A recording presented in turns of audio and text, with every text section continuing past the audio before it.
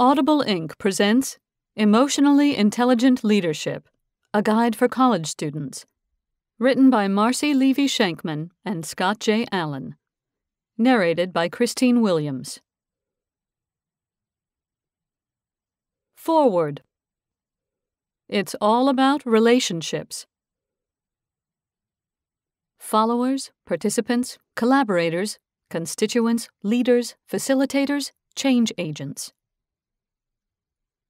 How would you combine the concepts evoked by any of these words to explain leadership? In Exploring Leadership for College Students Who Want to Make a Difference, Komives, Lucas, and McMahon, 2007, we viewed leadership as, quote, a relational and ethical process of people together attempting to accomplish positive change, unquote. Page 74. You may think of those people as leaders and followers, However, we assert that whether in positional or non positional roles, people in groups engage in the process of doing leadership together. Critical to the leadership process is the capacity of each individual to engage in authentic relationships with others and to truly understand that leadership is all about relationships. Developing and maintaining healthy, effective relationships is all about emotional intelligence.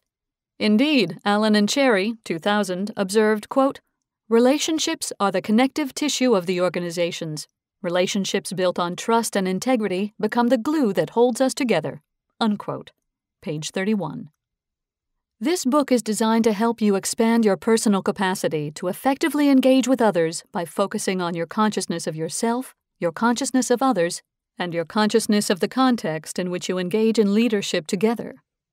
Expanding your relational capacity is the emotionally intelligent leadership that Marcy Shankman and Scott Allen present in this book. Consider your emotional quotient, EQ, like your intelligence quotient, IQ, and build your capacity to address intrapersonal awareness, intrapersonal skills, adaptability, resilience, and general mood, Bar-On 1997, in conjunction with how you would apply your IQ to expand your cognitive complexity. Caruso, 2003, described the process we use in applying our emotional intelligence. We first accurately identify emotions. Second, we use these emotions to influence how we think and what we think about. Third, we attempt to understand the underlying causes of these emotions and determine how these emotions will change over time.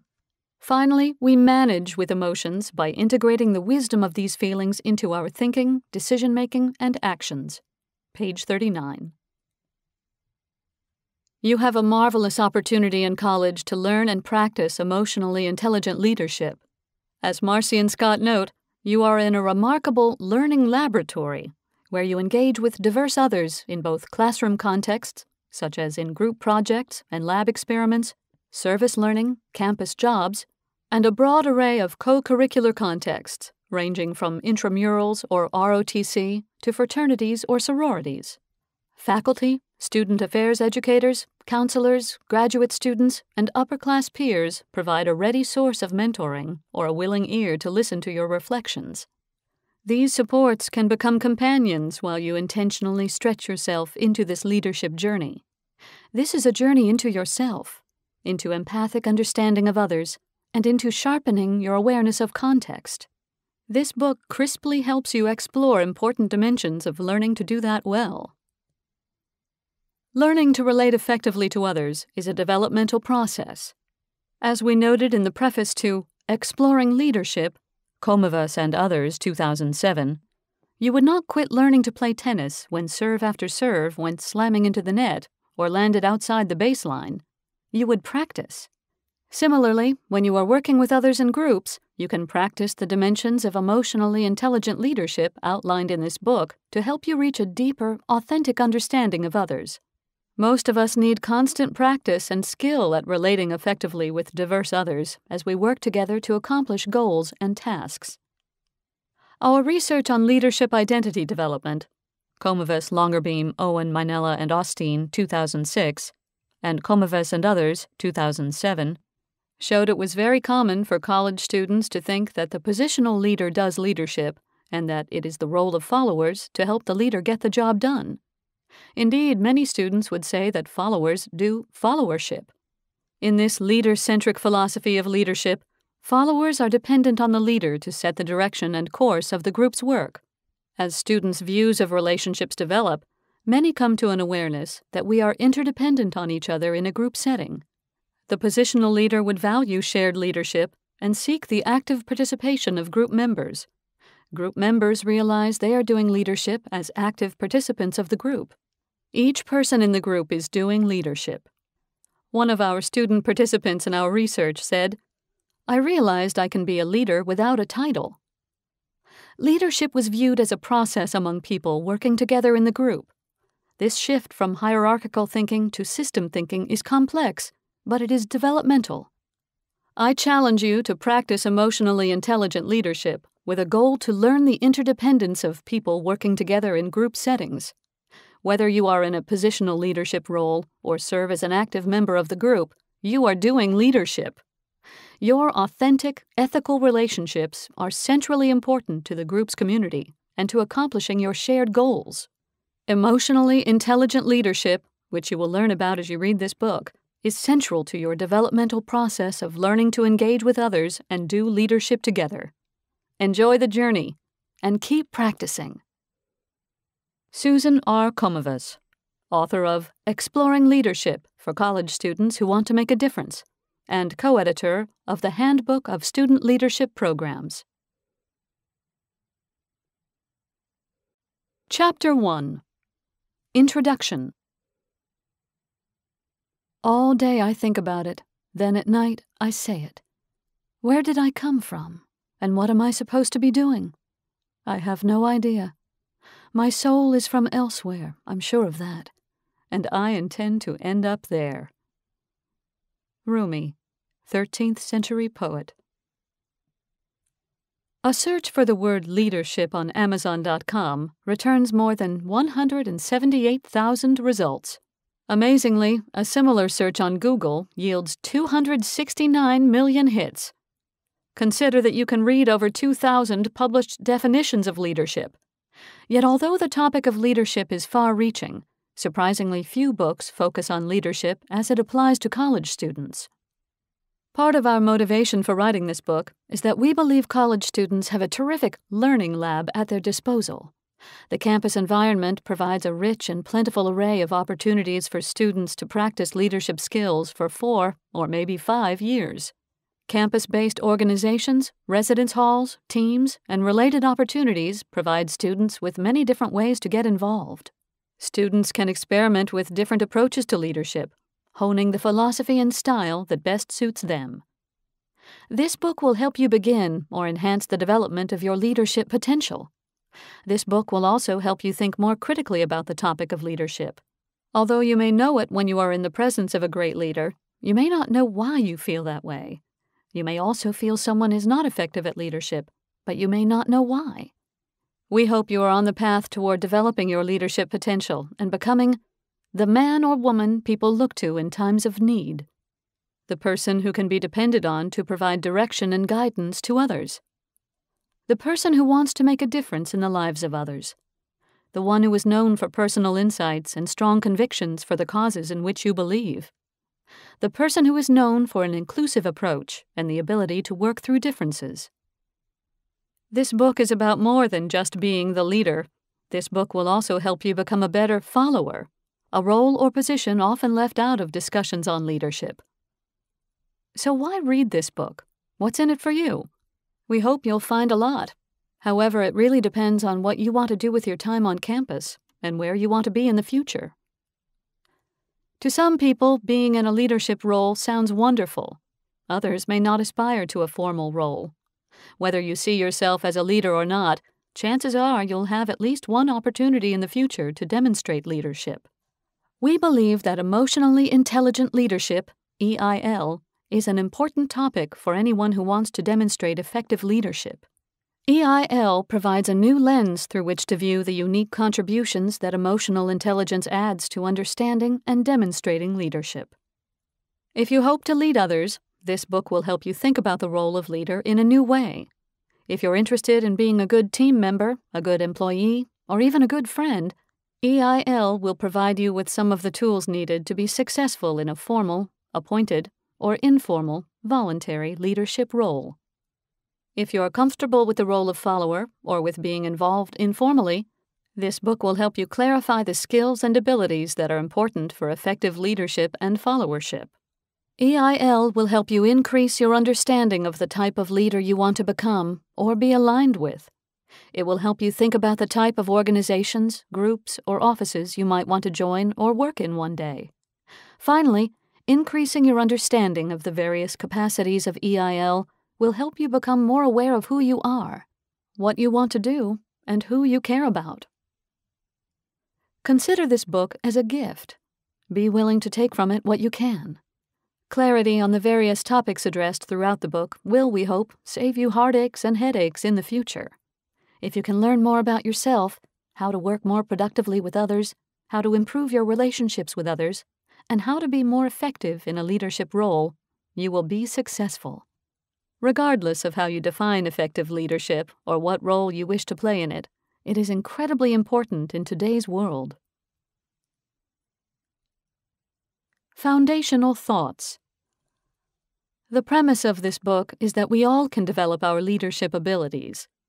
Recent research conducted on twins corroborates this philosophy. Arvey, Rotundo, Johnson, and McGue, 2003. Arvey found that as much as 70% of leadership is learned. This is good news for all of us. Another basic premise of this book is that the framework outlined is simply that. This framework can in no way cover the leadership capacities needed for every situation.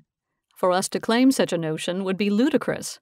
It would be similar to saying you need to know only 22 things to be a great basketball player or singer.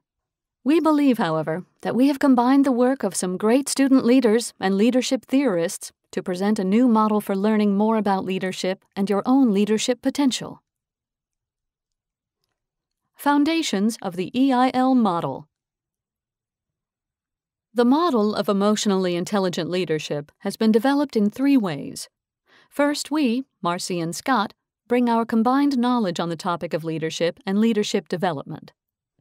We each have spent many years working with college students from various campuses on the subject of leadership. In addition, EIL is the composite thinking of transformational leadership, situational leadership, contingency theory, leader member exchange and emotional intelligence, authentic leadership development, positive psychology, organizational culture, and organizational behavior. We have also incorporated the work of a number of scholars and organizations, such as John Gardner, Howard Gardner, Ronald Heifetz, the Higher Education Research Institute, and Joseph Rost. Finally, we developed the model based on the thinking of your collegiate peers. We surveyed dozens of students from across North America and their voices are present throughout the text. Although we have used our knowledge, a large base of the literature, and your peers as a foundation, you can use this book as a guide to help you begin your own leadership journey. In addition, you can take comfort in the fact that, regardless of what various scholars or experts assert, your own experience and perspective have great value. We feel that all of us need to determine our own styles and approaches to leadership and followership. The key is the intentionality of our actions.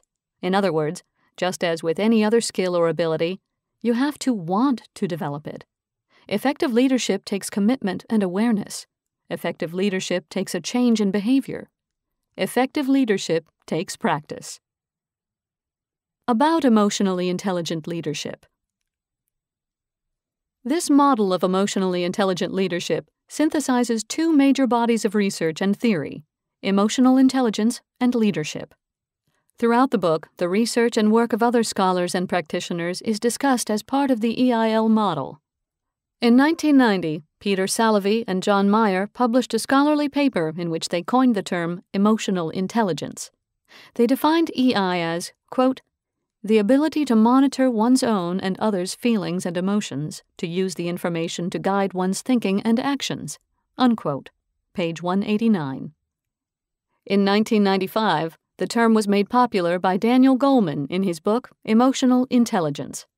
In his follow up book, Goleman, in 1998, defined emotional intelligence as, quote, the capacity for recognizing our own feelings and those of others, for motivating ourselves, and for managing emotions well in ourselves and in our relationships. Unquote.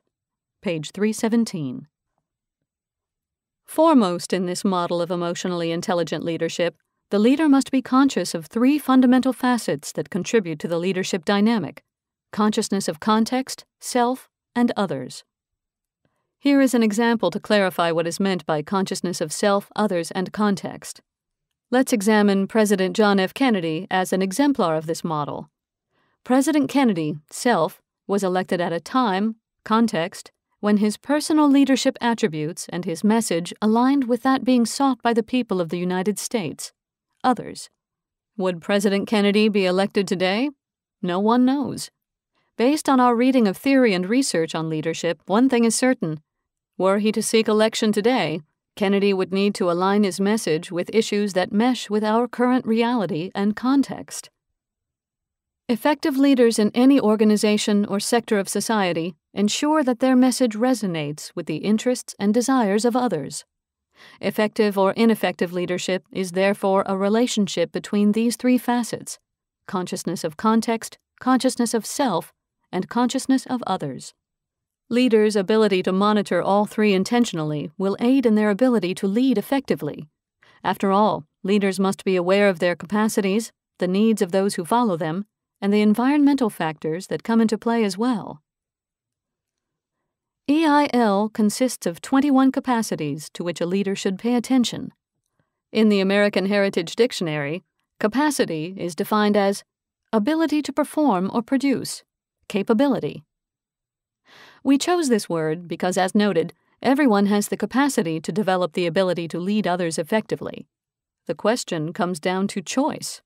Do we want to? Emotionally intelligent leadership, consciousness of context. The environment in which leaders and followers work, environmental awareness, thinking intentionally about the environment of a leadership situation group savvy, interpreting the situation and or networks of an organization. Consciousness of self, being aware of yourself in terms of your abilities and emotions. Emotional self perception, identifying your emotions and reactions and their impact on you. Honest self understanding, being aware of your own strengths and limitations. Healthy self esteem, having a balanced sense of self. Emotional self control, consciously moderating your emotions and reactions. Authenticity, being transparent and trustworthy. Flexibility, being open and adaptive to changing situations. Achievement, being driven to improve according to personal standards. Optimism, being positive. Initiative, wanting and seeking opportunities. Consciousness of others. Being aware of your relationship with others and the role they play in the leadership equation. Empathy. Understanding others from their perspective. Citizenship. Recognizing and fulfilling your responsibility for others or the group. Inspiration motivating and moving others toward a shared vision. Influence, demonstrating skills of persuasion. Coaching, helping others enhance their skills and abilities. Change agent, seeking out and working with others toward new directions. Conflict management, identifying and resolving problems with others. Developing relationships, creating connections between, among, and with people. Teamwork, working effectively with others in a group. Capitalizing on difference, building on assets that come from differences with others. If you are interested in developing your EIL, then you need a healthy balance of these capacities. There is no fixed formula for which capacities you must demonstrate. That would minimize the complexities and realities of leadership and of us as human beings. We also believe that it is not effective or advisable to demonstrate any one of these capacities to excess. For instance, leaders can take teamwork to an extreme and become bogged down when trying to progress and move forward. On the other hand, leaders may completely negate the importance of teamwork and alienate themselves from the group, In addition, leaders with low capacity for empathy may have a difficult time convincing others to believe that they have others' best interests at heart. The bottom line is that each capacity requires balance. The trick is that the right level of being in balance is dynamic, it's constantly shifting. In other words, an appropriate capacity for developing relationships in one context may be inadequate in others, based on the leader, the followers, and the context. The best leaders realize this, and they intentionally adjust their approaches or levels based on the needs of others and the context. Leadership development is a long term endeavor, a journey that all of us must consistently work on if we want to develop and grow. And as with any knowledge, skill, or ability, you need to reflect on your successes and failures, observe others whom you admire and respect, and engage in trusting relationships with people who will provide you with open and honest feedback. Finally, and perhaps most important, to demonstrate emotionally intelligent leadership, you must transfer this knowledge into action. What lies ahead? How to use this book. This book is intended to be a fast listen. The chapters are short and contain our thoughts, the thoughts of experts, and student voices. The book is interactive at the end of each chapter, specific questions are offered to deepen your thinking. We hope that as you listen to this book, you will reflect on your life and how these concepts and capacities apply. We suggest talking with a close friend or mentor about the topics and even the questions. If you have these conversations, we believe you will receive feedback that will help you identify opportunities for growth and existing areas of strength. If you are truly adventurous, talk with a couple of people, not just one. After all, your mom or dad knows you in a different way than your volleyball coach does. Each has valuable information to contribute toward your development and growth. We are excited to join you on your leadership journey. Let's begin. Chapter 2 Environmental Awareness Thinking intentionally about the environment of a leadership situation. Now that we have determined the important role of context in the leadership equation, let's take a closer look at how emotionally intelligent leaders manage their environment to enable or demonstrate leadership. This is the hard part intentionally thinking about the environment in any leadership situation. Harvard faculty Ronald Heifetz and Marty Linsky call this getting on the balcony. This means an individual has the ability to observe, in real time, the group dynamics and factors present in the environment the leader can observe what is happening from above, like the proverbial fly on the wall. A male senior at Case. We hope you enjoyed this preview. To continue listening to this audiobook on Google Play Books, use the link in the video description.